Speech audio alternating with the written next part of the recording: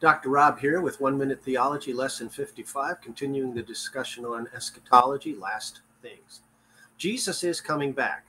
We do not know that day or that hour specifically. We have the promise, and we trust in that. We also have this day of Jesus coming back tied in heavily with the Old Testament teaching on the day of the Lord.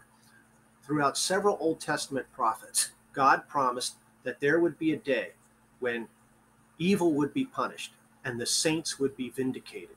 And this is the day that Christians look forward to that when Jesus comes back, he will be bringing his kingdom. All those who put their faith in Jesus will be part of that kingdom. All those who refuse to put their faith in Jesus will be excluded from that kingdom. That day is always coming soon, according to Jesus. I am coming soon. And so Christians always are prepared for that day to happen at any time. At the same time, it's been 2,000 years. And so Christians have also learned that we need to plan our lives as if we will die and see the kingdom from the heavenly perspective, not this worldly perspective.